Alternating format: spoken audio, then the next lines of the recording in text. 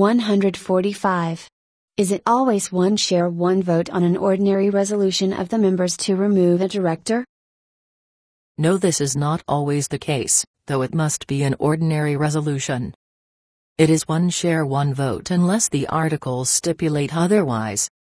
It is possible for articles to provide for some form of weighted voting, with some shares carrying more votes than others.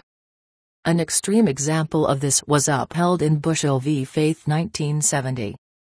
In this case articles gave a director's shares extra votes on a resolution to remove him as a director. There is nothing in statute or common law to prescribe equality.